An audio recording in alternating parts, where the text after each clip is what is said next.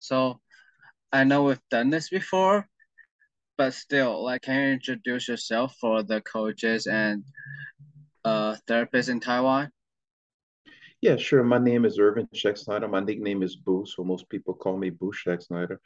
Uh, I live in Louisiana in the United States, and uh, I've kind of made a career as a track and field coach with a, a fairly good amount of success nationally and internationally. And I also uh, do consulting work with a lot of college and professional sports programs on topics like speed, power, um, rehabilitation, and those types of things. So, so basically, that's my background. I've been coaching and consulting for about 42 years. 42 years. I was like coaching like five or six years old.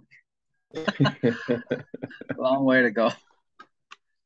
So our last conversation, uh, coaches here love it, and I received a lot of like messages asking about like uh, how would you program for track. So today I'm prob we're probably gonna focusing on track a lot more. Okay.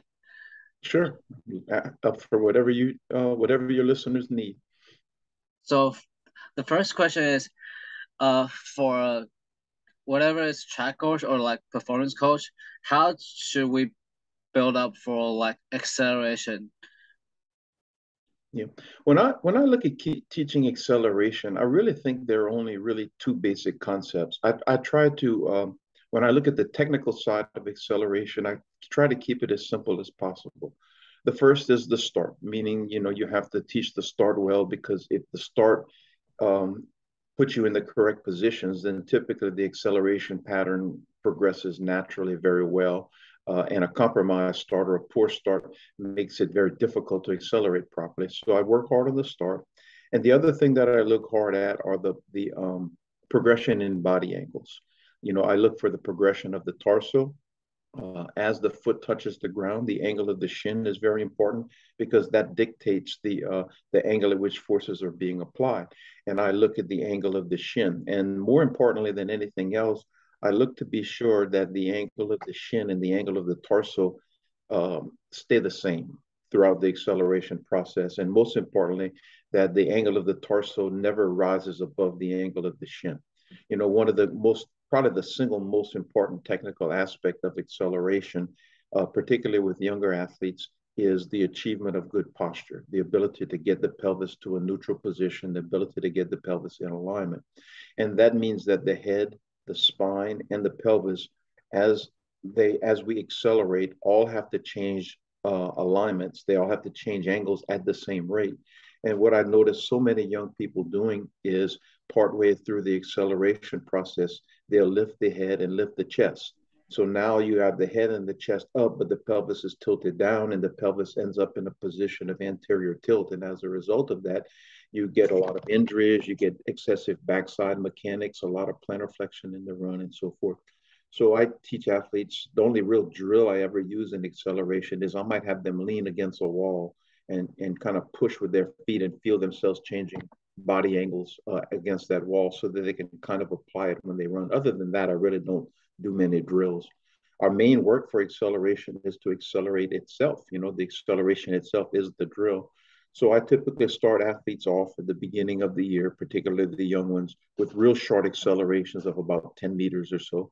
After doing some 10s, and we progress to 20 and then 30, you know, so we just add length and by adding length, of course, you're adding intensity as well because each step in the acceleration process is faster and, and has greater levels of tissue load than, than the earlier steps. So, so basically, if I were coaching you, say, and you were a novice sprinter, I would probably have a workout like 410s, 420s, and 430s. And that would be the first workout we would do with you on the other hand, uh, maybe a month later, we may do 420s, 430s, 440s. I typically limit my acceleration work to about 40 meters because for most athletes, at, at most most athletes, that's around the point in time where they start to approach or get very close to maximal velocity. That isn't true for very elite people, but for, for most athletes, it's typically true.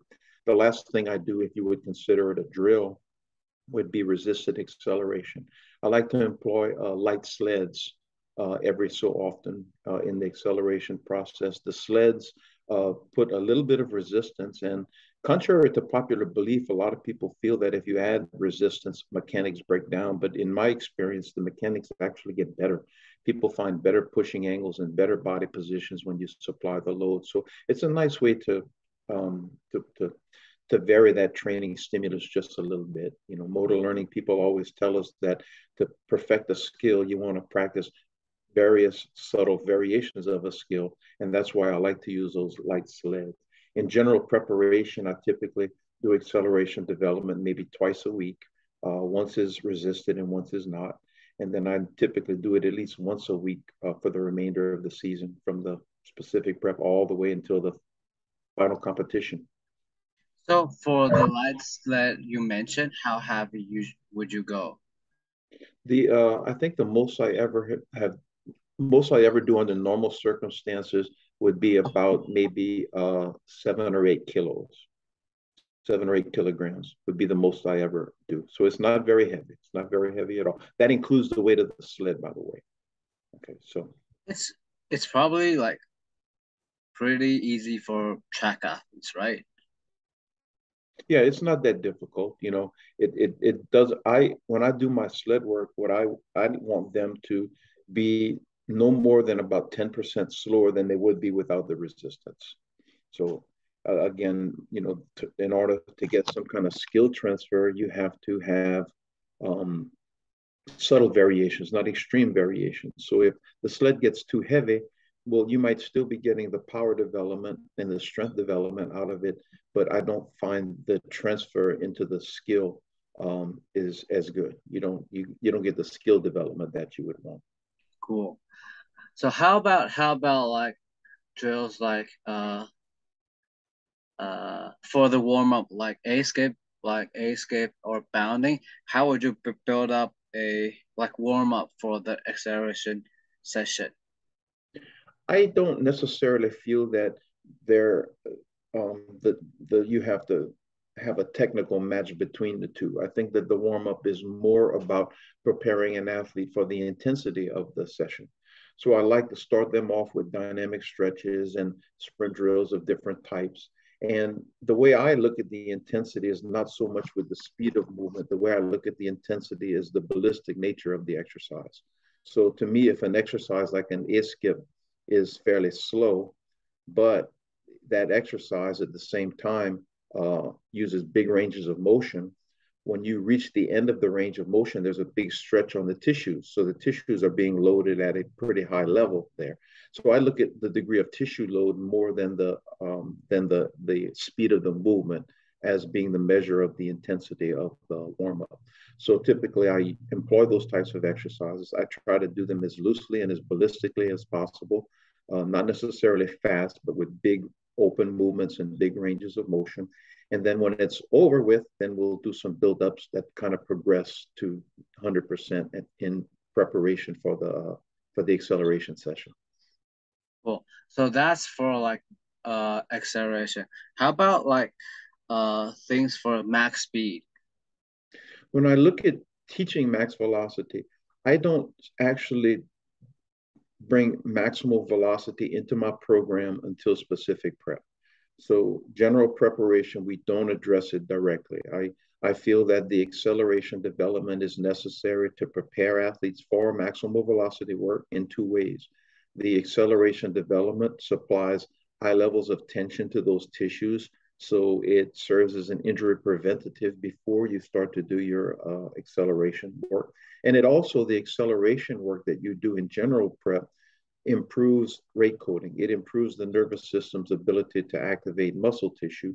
And that is necessary before you actually undertake speed development. I think a lot of people undertake speed development. I shouldn't say a lot, but there's some who probably undertake it too early. And I'm not saying that it really did any damage, but it isn't as effective because the body hasn't been prepared quite properly for it at that at that point. So in short, to me, the primary preparation for max speed is the acceleration you do. And I try to do at least a few weeks of acceleration before I would train maximal velocity. Now, the one exception to this is I like to do stadium runs. I'll find a, a, a set of stairs. And uh, what I'll do is I'll have the athletes run up the stairs uh, and they have to touch every stair. If they touch every stair, their postures are going to be upright. And if they touch every stair, the direction of push is predominantly vertical, which of course is the characteristics of maximal velocity, upright postures and vertical pushing. So I start to teach the concepts, the mechanics of maximal velocity by doing those stadium runs. Those stadium runs are not really long stadium runs. They're not being done so much for fitness, they're being done more for technique purposes.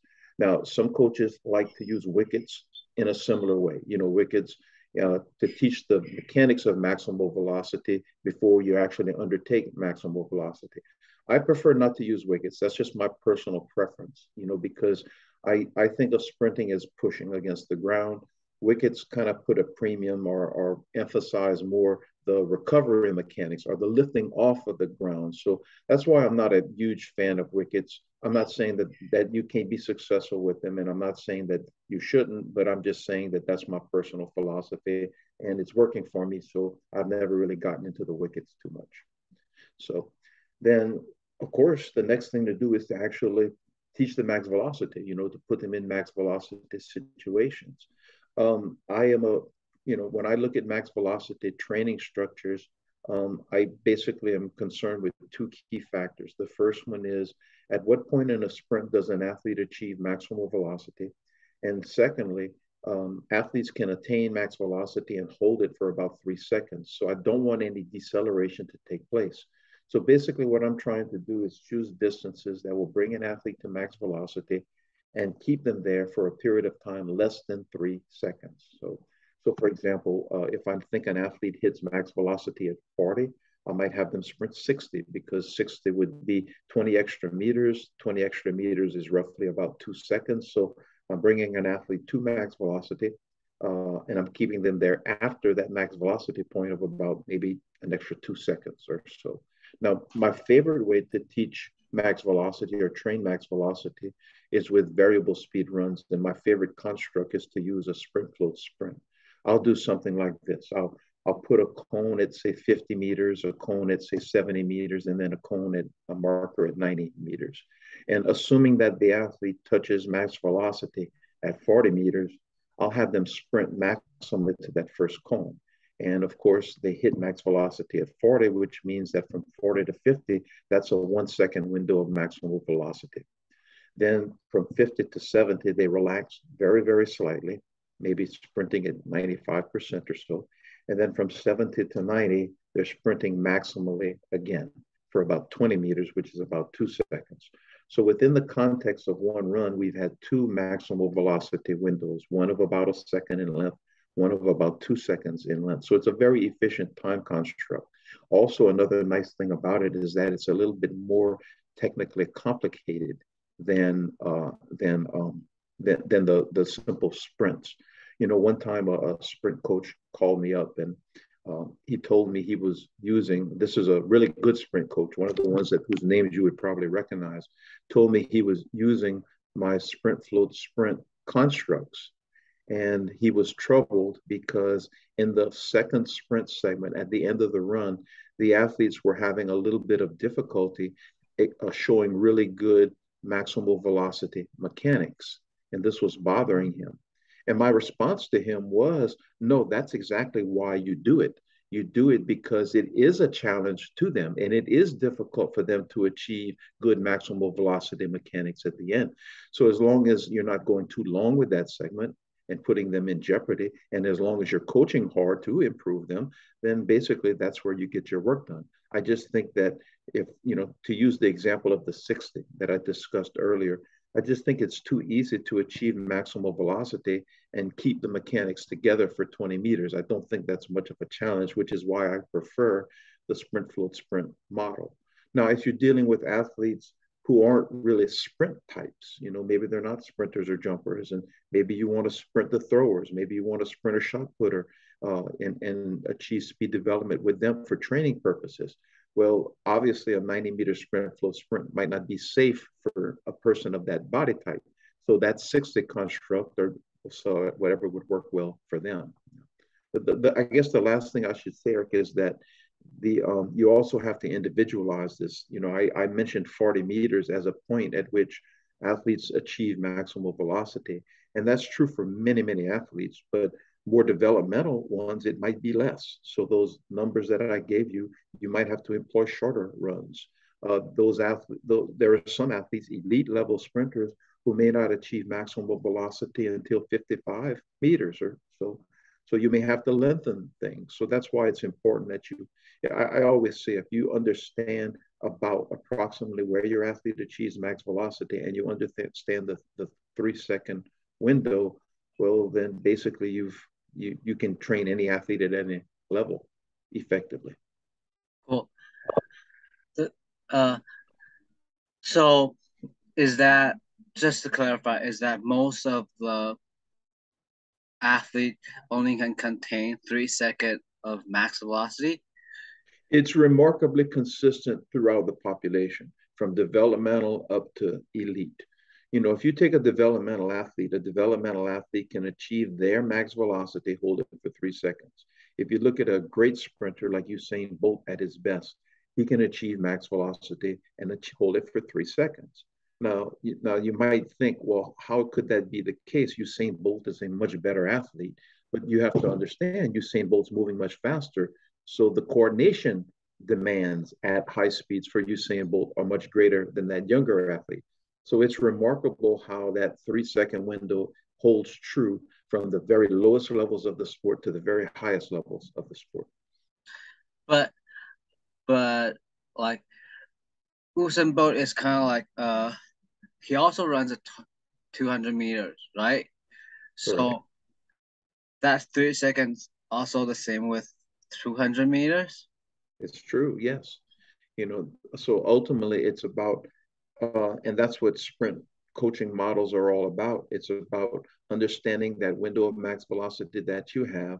How can I build momentum to best use it? And how can I resist deceleration once that three second window is effectively over? Cool. So how, if I'm gonna train my track guy, no matter it's like uh uh 100 meter or like 200 meter sprinter, how can I like make sure when does he hit like max velocity? Most of the time, I think the eye test is good enough. You know, when and and what I this is my typical rule is a lot of times you'll just know and you'll just see. But keep in mind, when if you've taught the acceleration model correctly, when they're accelerating, the shin angles will be tilted, right? So you see that the foot touches the ground, the shins are tilted, and then the shin angles progress over time.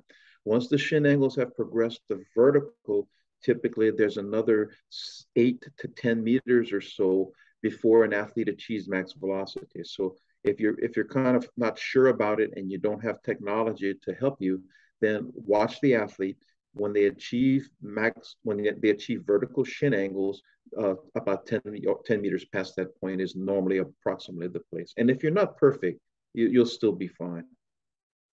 Is that, is there like any technology you use right now? No, I use what I just said, you know, just my eyes and I looked at shin angles. Now, I'm, of course, there is technology. I mean, you can set up speed traps of different types and there are, God, so many different good training systems, I mean, uh, timing systems on the market that you could use and set up if you wanted to be absolutely sure. But that gets awkward sometimes. And also, it can change as an athlete develops as well. You know, so just because you have that distance doesn't necessarily mean that distance is going to be the, the same either. But I, I I'm out there and I just move the cones around. You know, if I see an athlete and it looks like they haven't quite achieved max velocity, I just move the cone down the track a little further. And if it looks like they might be fading a little in a, in a sprint zone, then I just move the cone a little closer. Cool. So since we only can hold the max velocity for like three seconds, how can I like try to extend the acceleration phase for my athlete? The extending the acceleration phase comes from training. A lot of coaches make the mistake of trying to lengthen the acceleration phase through technique.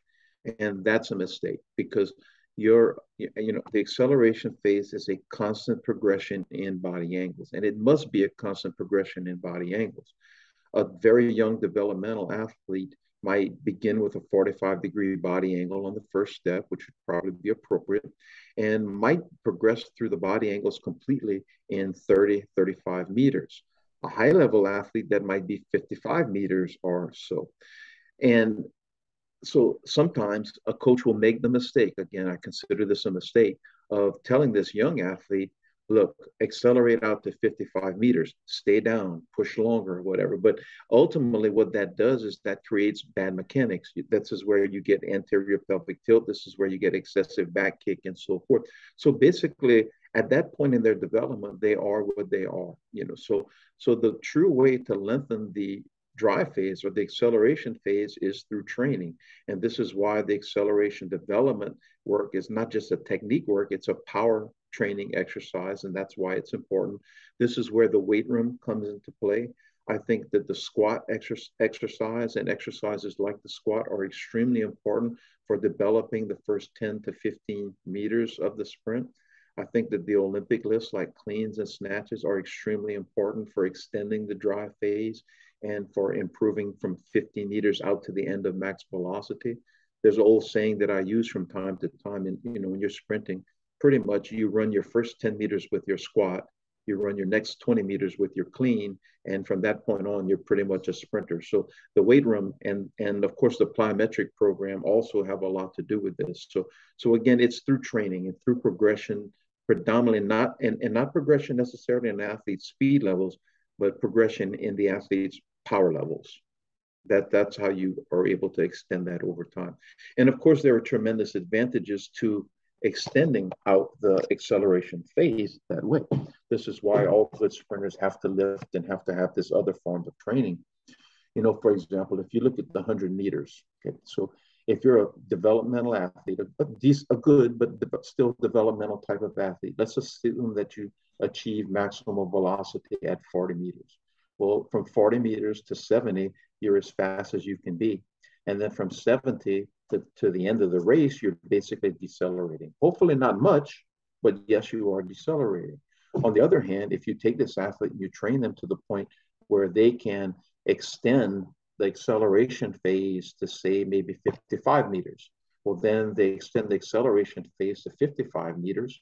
Then from 55 to about 85, maybe even 90 meters, they're at maximum velocity, which leaves only 10 or 15 meters of deceleration. You know, we all know in the 100 meters that the troublesome phase is the end of the race because that's when we start to break down and that's when we start to see deceleration. So if I'm capable of lengthening the um, the acceleration phase and that pushes the max velocity phase down the track further, then the trouble part of the race becomes shorter. And that's that's why really that's why sprint times now are becoming so fantastic you know one of the reasons you know a lot of these really good sprinters are only showing 10 meters or 5 to 10 meters or so of deceleration at the end of the 100 meters because they're so powerful and so effective at acceleration early in the race cool Cool. so uh if like then how was like uh you mentioned like you're gonna work like two acceleration for a week, right? So how was the weekly mm-hmm. layout for your track athlete? My track athletes in general preparation, typically Monday is an acceleration development day. And on that day, typically, uh, we also do uh, short horizontal bounds because they go well with acceleration, the common ground being horizontal force application.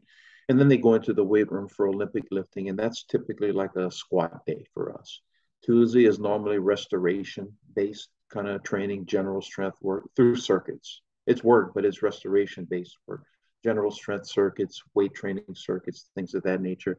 Wednesday is normally, um, in general preparation, is normally some type of tempo workout. Um, most of the time, we're training at distances that range from 100, no more than 200 meters and typically about 1200 total meters in a session, running at about maybe 75, 80% or something like that. Thursday is very much like Tuesday. It's a restoration based day.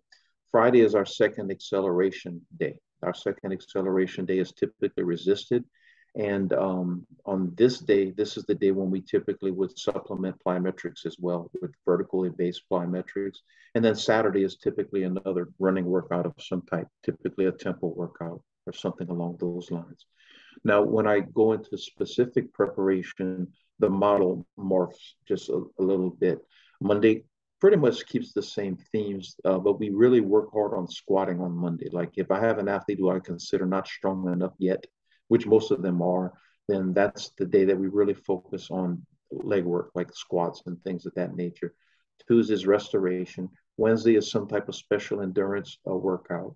Thursday is restoration again. Friday is our critical training day. This is the day where I think athletes are really built. This is the day when they will do speed development. Uh, I have them do high level, high intensity plyometrics on that day, and that's also the day when we do heavy Olympic lifting. So that's a that's a that's a tough workout. That's the workout that really builds the athlete there. Now, a lot of program, and by the way, Saturday is another special endurance type of training day. Now, the, the reason why Friday, I know a lot of programs choose Monday and Thursday to do speed based type of training. And, and, and this is personal, but I have the athletes do squats on Monday. And the squats on Monday uh, fatigue the legs, but they also fatigue the proprioceptors, the small organs in the muscle that are responsible for coordination and elasticity. They become fatigued as well. Typically, those proprioceptors are recovered by Thursday, but they supercompensate by Friday. You know, because of the fact that I took these proprioceptors and fatigued them on Monday, they're actually sharper on Fridays. So I've always found that the Monday Friday system works a little better than the Monday Thursday system, and that's why I typically employ it in that in that uh, in that way. I find that on Thursday you're good, but on Friday you're a little bit better. You're a little sharper. You're feeling your body a little more. So basically, the system is set up so that Monday we stimulate the athlete after a day off. Uh, we do the squat work we need to do. Through the middle of the week, you know, we cover some other bases that need to be hit. Friday is the day when we really train speed power at a very high level with the high intensity plyometric speed and Olympic lifting. And then Saturday again, of course, is another special endurance type of workout. So, uh, how was the weekly balance for the track look like for 100 meter sprinters? For a 100 meter sprinter? Yeah. Yeah, when yeah, when I do an acceleration development session, most of the time the volume hovers around 300 meters. Uh, sometimes a little less, sometimes a little more, but somewhere around 300 meters or so for the most part. So it's not a really high volume type of session. And as athletes get older and better, I typically do a little less volume because they're producing more intensity. You know, if they're producing more intensity, I don't need to do as much volume. Uh, when I do the speed development uh, work on the Saturday, uh, I'm sorry, on the uh, Friday, uh, typically we're working with sprint float sprint constructs as I described earlier. And normally we're working in the neighborhood of um, anywhere from three to five runs. More developmental people will typically do four or five of those. Really high level people, three is typically a lot. And of course, that's because the, the high level people produce far more intensity intensity is always a great substitute for volume. So it's not a high volume type of system. I'll tell you a little a, a, little story. I have a young lady that I'm coaching now, a very good long jumper who did very well in the world championships. And she was training with me. It was her first year with me. And on the training schedule were three 90 meter sprint float sprint efforts. So she looked at it and she looked at me and I could see there was doubt in her eyes. And I, I know what she was thinking. She was thinking, how am I going to make the Olympic Games if I'm only doing 390s? That's not enough, you know. But it was funny because after two, she couldn't go anymore. Like she was so she was literally laid out and couldn't move after two. So the, my point is is that you know we think in terms of volume, but the quality of the training is really what's important. And after that, she understood perfectly, you know, how this was going to get her to the Olympic Games. So the quality is is key.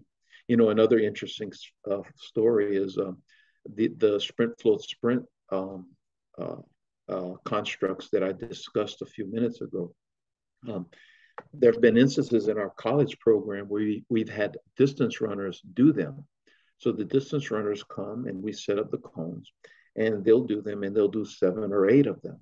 And they think they're wonderful because they could do seven or eight. And then I'll go up to them and I say, You failed Well, what do you mean I failed, coach? I says, Well, if you were really sprinting them hard, you could never do seven or eight, you know. And then it's interesting because as they get better and better at them, the quality goes up and they're not able to do more, they're able to do less.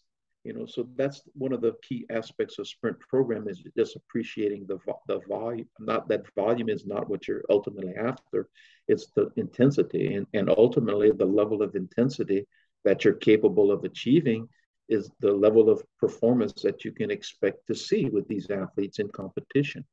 Now, as far as those uh, workouts, I normally begin the year's general preparation with uh, tempo workouts in the 80% zone, just general preparatory stuff. And that's for a few weeks. But after that, everything I do is pretty specific. Uh, the tempo workouts that I do, uh, the most I ever do in a tempo session is 1,200 total meters in a tempo session. And then when I progress to special endurance work, most of my special endurance work only have um, anywhere from three to five runs. Five runs in a special endurance workout or an intensive tempo workout are the most I'll ever do. And with high level athletes, typically it's more like three or four runs. I would rather do three or four really good runs with nice long rests than do five or six runs that don't give me the same level of, of quality most of my special endurance work for track athletes, even 100 meters, is ladder down type of work, meaning the first run is longer, the second run shorter, third run is the shortest. That way we can maintain power output and velocity throughout the whole workout. Just about every workout I do in special endurance is along those types of lines and along those types of constructs, I guess I should say. Cool. So why uh you put like circuit weight training at Tuesday and Thursday. The, the circuit weight training, and by the way, typically it's Tuesday and Saturday, actually, Sorry. sometimes Thursday. But uh, but the circuit weight training, uh, if you go into the weight room and use small muscle group exercises, and if you go lighter and do say sets of ten, okay, then what happens is these exercises stimulate the release of certain hormones. These hormones, serum growth hormones, serum testosterone levels elevate. And because of that, they foster restoration. So you actually not only have an endocrine system, a hormonal system that will support your speed training better, but you actually recover from exercise faster. You know, when I talk to young coaches, it's a very difficult concept for them to understand that you can actually work and you produce the effects of rest because you've done the work, but that's genuinely what actually happens in those situations. And the same thing is true with the medicine ball work and the uh, general strength work that we do. You know, we do medicine ball work because we need specific core training. We do general strength work to alleviate imbalances and improve coordination, but they also produce lactate and the lactate levels that they produce uh, contribute to our fitness and they also help us with those uh, growth hormone levels as well. So I'm a firm believer in understanding how hormones work in our bodies and using work to stimulate those hormones so that we are achieving restoration not by taking days off, but we're achieving restoration through work. Cool. And another question about the weekly layout is I talked to a lot of like track coaches and they tend to put heavyweight training with a uh, acceleration day, like what you just mentioned, squat day on Monday and the day you also train acceler- acceleration, right? So mm-hmm. why do you why you put like heavyweight training and acceleration day at the same day? Okay. The philosophy is that after warming up, and most of the time the day before has been an off day. And because there was an off day, the athletes are not stimulated. The nervous system is not stimulated, and we have to re stimulate the nervous system. So, what I do is I warm them up. We do acceleration development, not only for the purposes that we discussed earlier, but for nervous system stimulation. We do some basic plyometrics, horizontal balance for stimulation. Then we do a light Olympic lift for stimulation. And all of this stimulates us and basically sets up the remainder of the week. Then we do the squat workout. Now, why the squat workout then? First of all, the squat workout goes very well then because that's not the best day to do something like speed development. You know, on the Monday, you aren't stimulated enough to do effective speed development. So coaches will typically, the best coaches will do the speed development later in the week after they've experienced stimulation. You know, sometimes you'll hear a coach say that you have to be wired to do speed development. That's what they're trying to say is that you have to be stimulated from a nervous system standpoint in order to do it. So Monday is basically a stimulation day. We know that we're going to do speed development later in the week. So if I place the squat workout on the Monday, then I have time to recover from it before I accomplish the speed development day later in the week. If I would say put the squat day, say in the middle of the week, well, then in that situation, I wouldn't have enough recovery time from the squat workout to effectively uh, do the speed workout. Now, another option would be to do the heavy squat day after the speed development work on the same day. But because of the fact that I have prepared the athlete to do that speed day, and I've practically peaked the athlete to peak on Friday for that really good speed power session, I don't want to waste that opportunity on something like squatting. I would rather do high quality plyometrics and I would rather do high quality uh, Olympic lifting in that session because it's much more functional. So it's basically about putting the squat session where it does the least damage and where we have an opportunity to recover from it. Yeah. So before the speed development, that let's you you just mentioned it's on Friday, right? Mm-hmm. So before the speed development, uh, what what would you do on Thursday? Thursday is typically a restoration day. Uh, normally on Thursday there is a general strength work and medicine ball work. With young athletes, it might be a weight training session, not a weight, not a uh, not a gen, not a a restoration-based weight training session, a weight training circuit. So it's some type of restoration day. Uh, I don't want a day off because I don't want to lose the stimulation. But by doing the general strength and the med ball on that day, the athletes do experience restoration, but they don't lose the uh, nervous system stimulation that we've achieved earlier in the week. Cool. So last time we talked, you mentioned like a three day or like two day uh, model for like team sport athlete, right? Mm-hmm. Is that is that gonna work on track athlete? Yeah, I use it all the time, and in some ways, it works better with track athletes, particularly the more experienced, high level ones. Uh, when an athlete gets to the point, and, and I, I use these in this way. For example, typically in a three day rotation, day one is a stimulation day. So on day one, uh, they would go out, probably uh, warm up, except short accelerations, not high volumes of anything, but short accelerations. And after that, typically we would do um, some short horizontal bounds and Olympic lift. So it's a nervous system theme type of day. It's a power training day. And what it does, it stimulates the athlete in preparation for the key day, which is yet to come. Day two is normally the critical day. That's the speed development day with higher intensity plyometrics. And then if I Olympic lifted on the day before, then I'll probably do like a squat session or something like that at the end of that day. And then the third day is restoration based. This is the day when we would do body weight circuits, general strength, medicine ball, those types of activities. Then after we do those three days, the stimulation day, the training day, and the restoration day, then we typically would take a day off and then come back and reboot and continue that type of cycle. Cool. So I want to go back to the uh, max velocity. You mentioned that there's most people only like can maintain max velocity for like three seconds, right?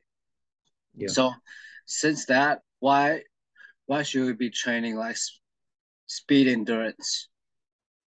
Because if most people most people well not most all people can maintain max velocity for three seconds okay? But after max velocity is done and that three second window is over some people will drop 5% per second after that. Some people will drop 2% per second after that. Some people might drop 10% per second after that. So the rate of decrease of the rate of degradation after is what you're actually training in speed endurance. Speed endurance is not about lengthening the three second window. It's been proven that that can't be done, but it does decrease the rate of fall off or the rate of degradation of speed once we have reached that three second window.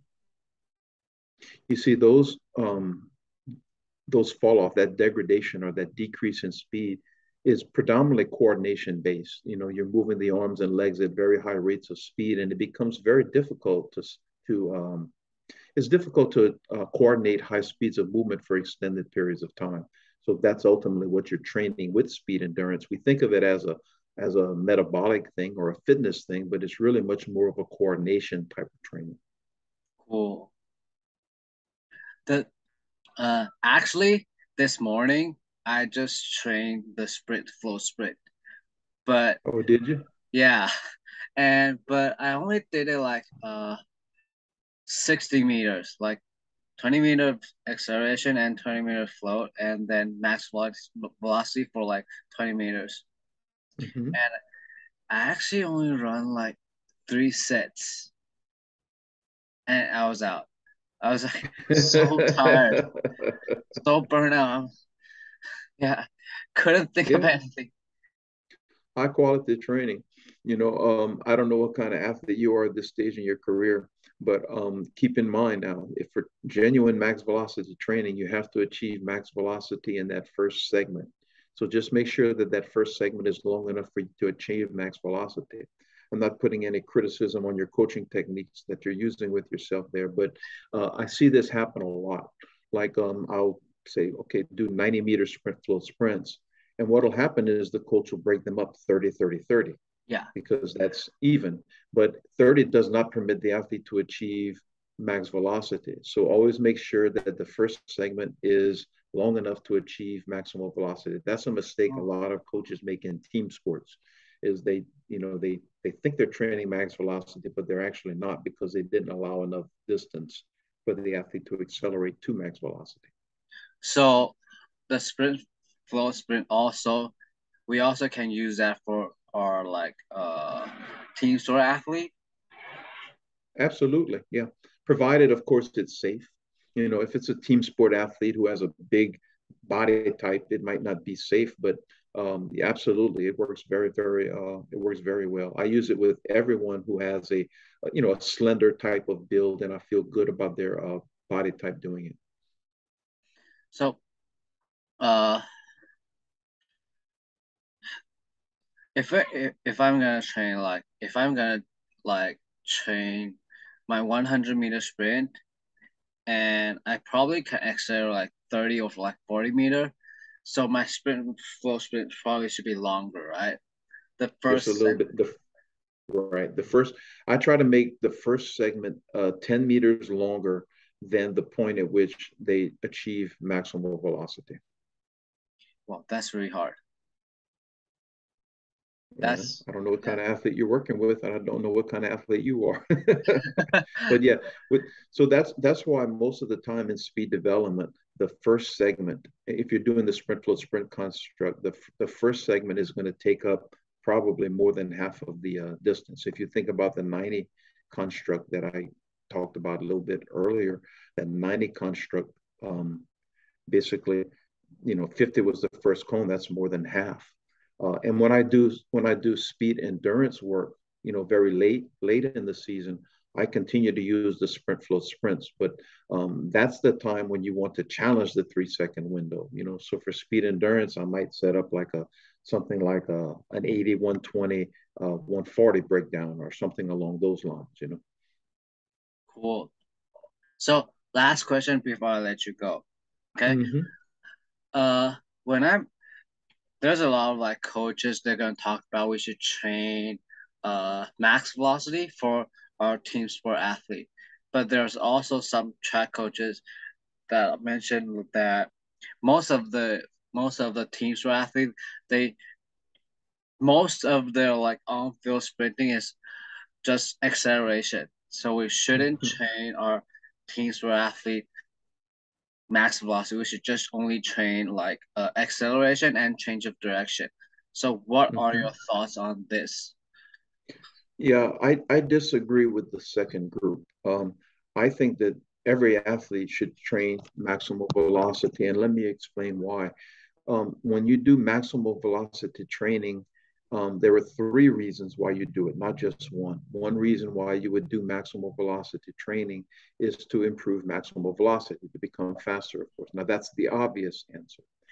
But when you do maximal velocity training, the um, nervous system is stimulated to a higher level.